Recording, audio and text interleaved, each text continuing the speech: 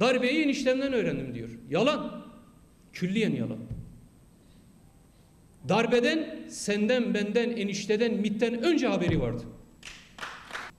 Darbenin istihbaratını alacaksın önceden, tedbirini alacaksın. 225 insan yaşamını yitirecek, sırf sen kendi iktidarını sağlamlaştır diye bir darbe tehdidini önlemek yerine harekete geçmelerini bekleyeceksin. Türkiye Cumhuriyeti tarihinin en büyük kumpaslarından biriyle karşı karşıyayız. Darbe içinde darbeyle karşı karşıyayız. Bu hakikati herkes şu koridorda konuşuyor da kimse şu mikrofonda kürsüde artık konuşmaya cesaret edemiyor. Biz de konuşmasa kim konuşacak? Bu hakikatler hep sır olarak, kulis bilgisi olarak mı kalacak? Senin bilgin vardı madem. Neden 225 insanın ölümüne göz yumdun? Neden parlamentonun bombalanmasına göz yumdun?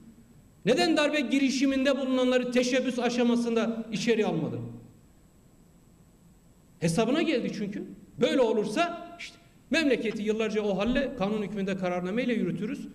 Milletin işte canı pahasına ortaya koyduğu direnişi de sahiplenir, buradan alır. Yıllarca memleketi götürürüz. Hesap bu.